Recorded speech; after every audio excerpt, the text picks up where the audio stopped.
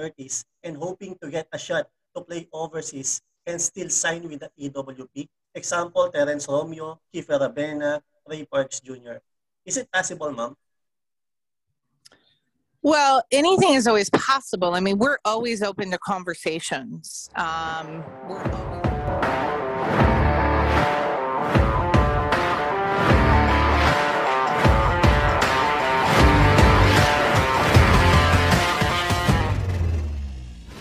Bago ka ba sa channel na to, huwag kalimutang mag-subscribe at i-hit ang notification bell para ma-update kayo sa mga upcoming videos ko.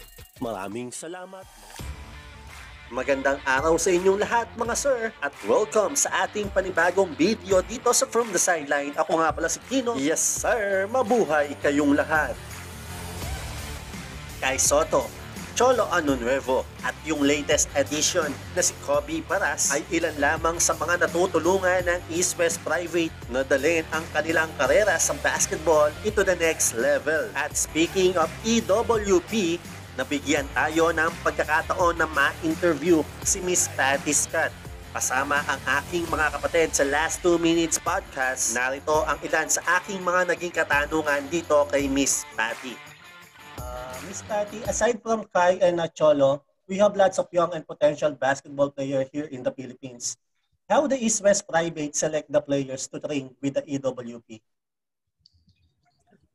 Uh, you know, that's a great question. Um, we focus on actually several criteria. It's not just what's on the court, it's also what's inside the heart and what's uh, you know in their mind both mentally and physically you know it's one thing to have skill and will right? Um and high basketball iq and you can't teach height right? So all of that is just a part of what it is. But at the end of the day it, it's like what's your attitude right? What what do you want to do with your life um besides basketball right? Like are you giving back to your community? Are you you know where are you wanting to go with things? So it, it's drive and and actual mental toughness to us is much more important at times than physical right? The basketball skills for most successful athletes um, or even outside of basketball, whether it's, you know, hockey, soccer, weightlifting, um, track, you know, most have honed their skill extremely well. Can they take it to another level? Absolutely. You know, everybody can always take their skill to another level. But more importantly, do they have the mental fortitude to want to do it? and not just do it part way, but really grind, giving it everything that they have and then some on top of that. It, it's tough.